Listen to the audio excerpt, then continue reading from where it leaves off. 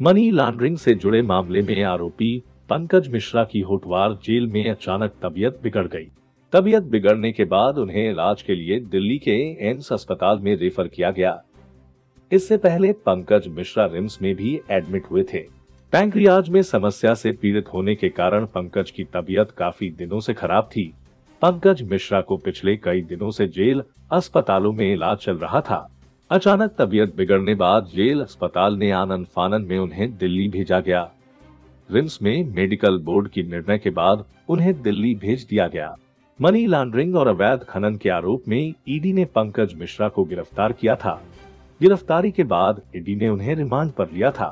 Remand अवधि पूरी होने के पहले ही पंकज की तबीयत खराब हो गई थी तो ईडी ने उन्हें रिम्स में भर्ती करा दिया था। वहीं तबीयत ज़्यादा खराब होने पर रिम्स मेडिकल बोर्ड ने उन्हें बेहतर इलाज के लिए दिल्ली भेजने की अनुशंसा कुछ दिन पहले ही की थी। अपने राज्य से जुड़ी हर ताज़ा खबरों के लिए आप हमें सब्सक्राइब करें, साथ ही बेल आइकन बटन दबाना ना भूलें।